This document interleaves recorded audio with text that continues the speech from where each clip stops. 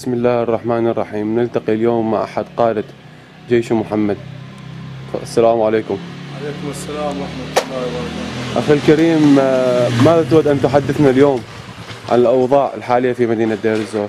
الحمد لله رب العالمين والصلاة والسلام على سيدنا محمد أخي الكريم الوضاع في مدينة دير الزور.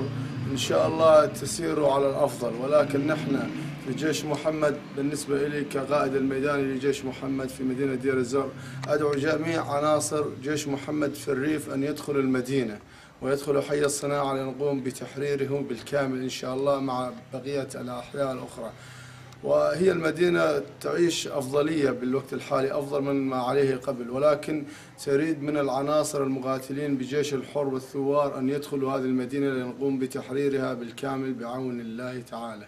إن شاء الله. إن شاء الله. نشكرك أخي الكريم. الله يجزاك الخير.